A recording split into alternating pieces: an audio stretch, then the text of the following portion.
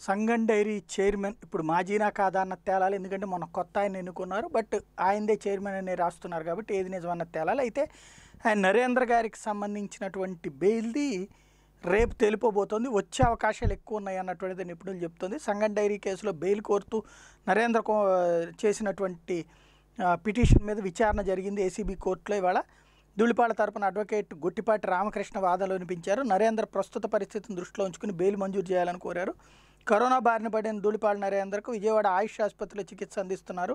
అటు ఏసీబీ తరపు న్యాయవాదేమో ధూళిపాళ కరోనాతో బాధపడుతూ చికిత్స పొందుతున్నారని ధూళిపాడ కస్టడీ రేపటితో ముగినుంది ఆయన విచారణ ఇంకా పూర్తి కాలేదు. మీరు ఇచ్చిన కస్టడీ నాలుగు రోజుల్లో ఒకరోజే చేశారు. మిగతా మూడు రోజులు మిస్ అయింది. ఈవెన్ హైకోర్టు ఇచ్చినటువంటిది కూడా ఇంకా పూర్తి కాలేదు కాబట్టి మరో వారం రోజులు కస్టడీ పొడిగించాలని కోర్టును కోరారు. దీని మీద కోర్టు స్పందిస్తూ ధూళిపాళ కస్టడీని పొడిగించే ఆలోచన లేదని స్పష్టం చేసింది. అనంతరం బెయిల్ పిటిషన్ మీద తదుపరి విచారణ రేపటికి వాయిదా వేసింది. రేపు ఏం జరుగుతుందని తేలిపోతుంది